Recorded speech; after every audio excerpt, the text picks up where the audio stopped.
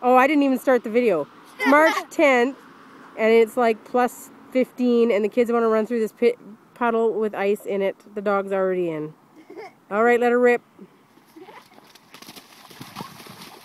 You gotta come back, around the tree and back. And Nolan has his shoes on, and Paige is losing her shoes.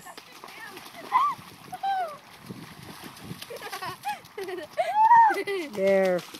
Are you coming back, Nolan?